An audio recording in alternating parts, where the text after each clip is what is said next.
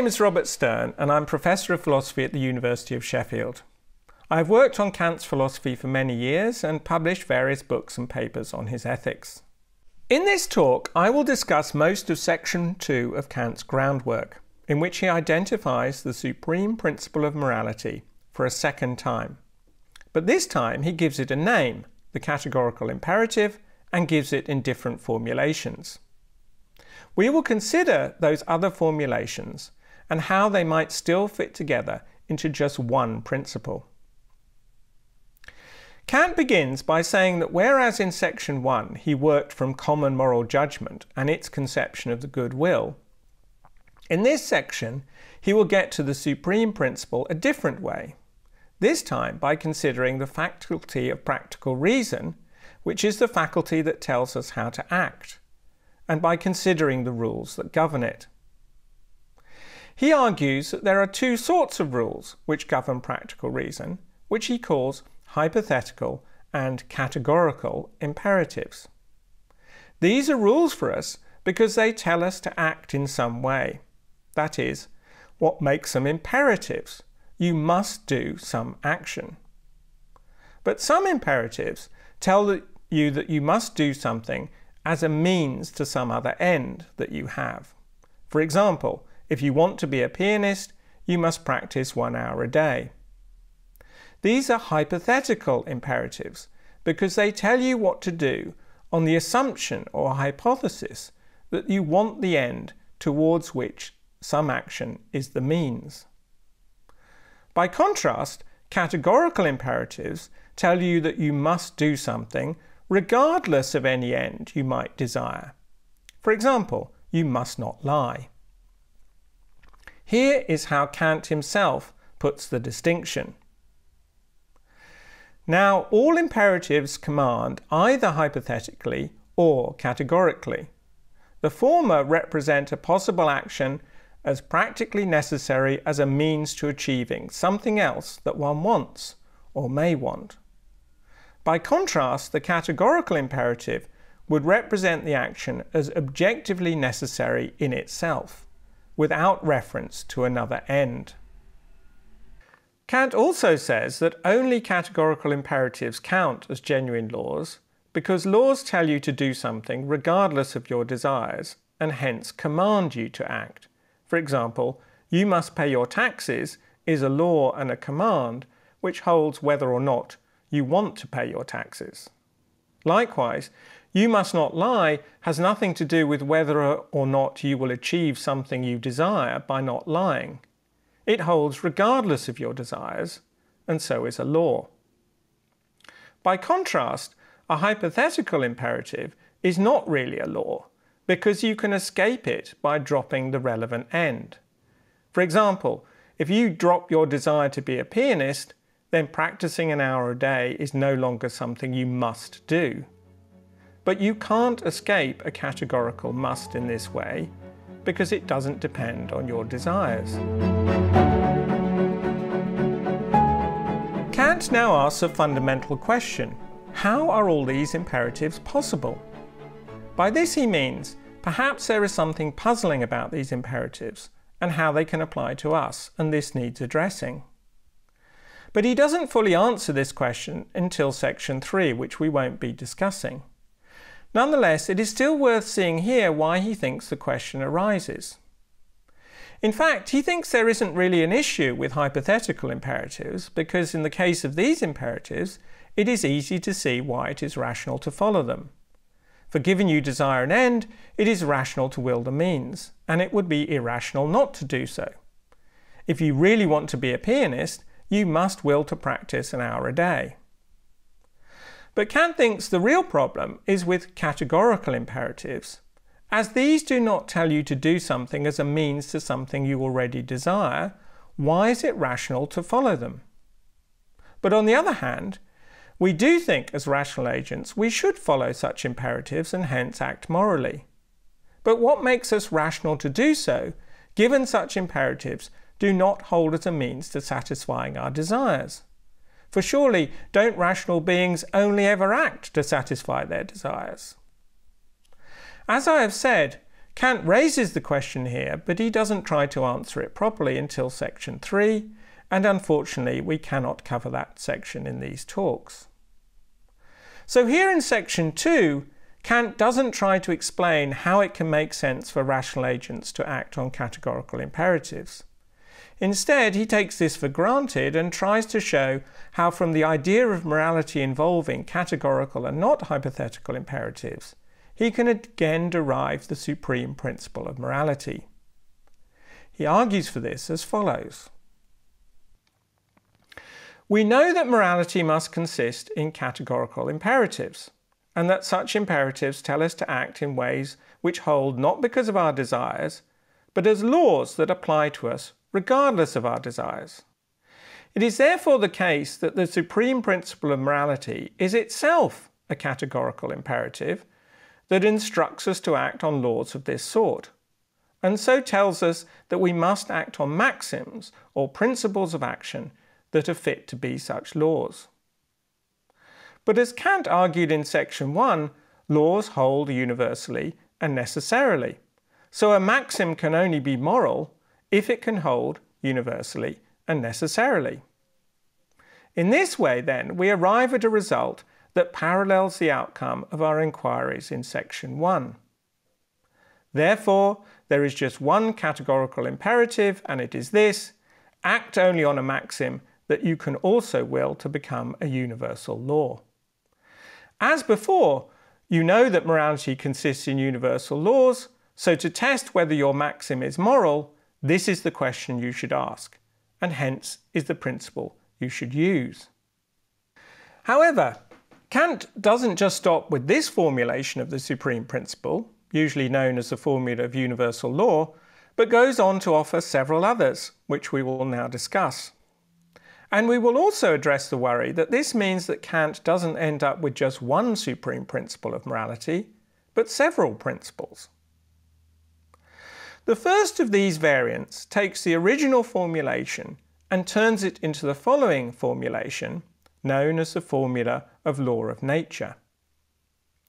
Act as if the maxim of your action by your will were to become a universal law of nature. Kant explains this transition on the basis that nature is itself law governed.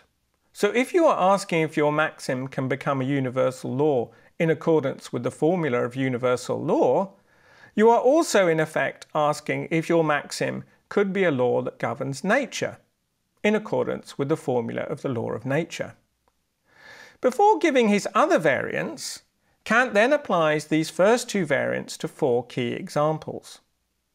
Firstly, the example of false promising discussed already in section 1, but also the examples of suicide, neglecting one's talents, and the failure to care for fellow human beings.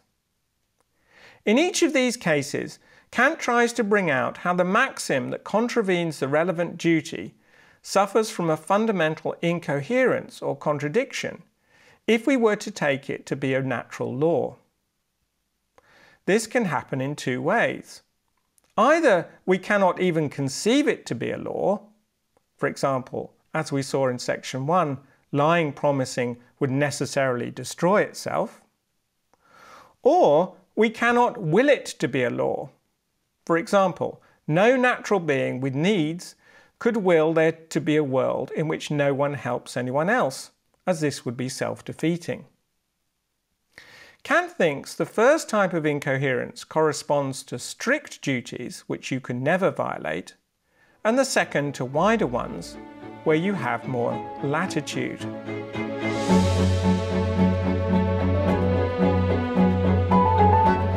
Thus far, therefore, although Kant has introduced a fairly minor variant on what we had in section 1 and has gone through some more examples, he hasn't departed much from the formulation we had previously. However, he now moves on to what may look like a very different formulation by asking a question he has not so far considered. Namely, what can serve as the end or goal of acting on a categorical imperative? What is it that following the categorical imperative will bring about, and why does this matter? The categorical imperative cannot be worth following because that way we satisfy our desires, because that would make it a hypothetical imperative instead.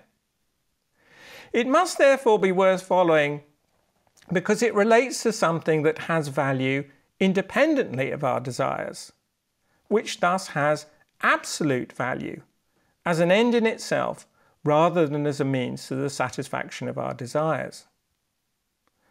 But what is it that has such absolute value, which might form the ground or basis for such a categorical imperative? Kant's answer to this question is that the only plausible candidate for what has absolute value is rational beings such as people, rather than things we produce or non rational beings such as animals. Kant argues that things we produce only have value because they satisfy our needs, so their value depends on us. And non rational beings, such as animals, can clearly be used as means, or so Kant assumes. All that is left to serve the role, therefore, are rational products of nature, namely persons, who are therefore said to have the absolute value that is required, without which there could be no supreme principle of morality at all. Moreover, once this is recognized, we can also see that another formulation of that principle is possible, namely the so-called formula of humanity. Act in such a way that you treat humanity, whether in your own person or anyone else's, never merely as a means, but also always as an end. To show that this is a plausible variant, Kant then runs through the same examples as before of suicide, false promising, neglecting one's talents, and neglecting other people to establish that one can also show how these cases violate this principle as well. Furthermore, Kant suggests, now that we have introduced the idea of people as ends in themselves, in assessing our maxims, we can now ask not just whether they could be laws that coherently govern the world, but also whether these maxims could coherently be laws which people would adopt for themselves as this seems necessary to treating them as ends in the first place. For I treat you as an end if I seek your consent for what I am asking you to do. Likewise, I treat you as an end if rather than forcing you to act in accordance with my maxim, I ask whether you could adopt it for yourself. This then leads to the next variant, which is often called the formula of autonomy.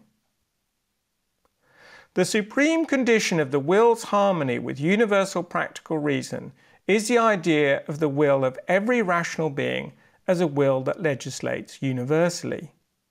So that according to this principle, all maxims are rejected which are not consistent with the will's own universal legislation.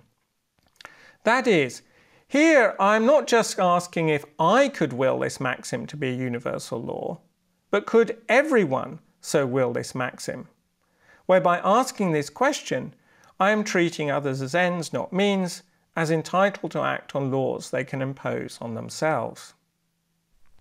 Finally, in thinking of ourselves as legislating our maxims to other rational beings in this way, and asking if, as rational beings, they could adopt such maxims as their own, we are in effect thinking of ourselves and others as a community of beings who are treated as ends in themselves, or what Kant calls a kingdom of ends, giving rise to a modification of the formula of autonomy known as the formula of the kingdom of ends.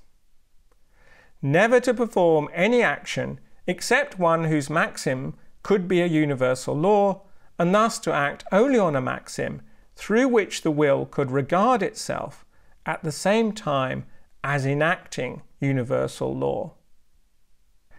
By treating one's fellow moral citizens in this way, Kant argues, one treats them as possessing not mere price, but as possessing dignity. The dignity that is appropriate to them as beings with absolute value. Thus, in the end, Kant finds a way to group together the various formulations of the supreme principle of morality that he has located and shown how they form one principle after all. Kant argues for this unity by suggesting that while the formula of universal law slash law of nature variance gives us the form of the principle, namely universalizability, the formula of humanity gives us the matter, namely treating people as ends. While the formula of autonomy slash kingdom of ends fit these both together in a satisfactory manner. In this way, Kant takes himself to have achieved his first main goal of identifying the supreme principle of morality, while showing that this is a principle with several different aspects. He then turns in section 3 to his second main goal, which is to establish that morality understood in this way is no delusion or chimerical idea without truth, by showing that we have the freedom required to follow these moral principles and that it is rational for us to do so. But we cannot follow Kant into that discussion here. Nonetheless, I hope that what we have done is gain some insight into how Kant aimed to achieve his first goal of identifying the supreme principle of morality and the different aspects that come together in the various formulations of it. Kant thought that something like this principle is the compass that we all implicitly use to guide our moral actions. It is now up to you to decide whether you think that he was right.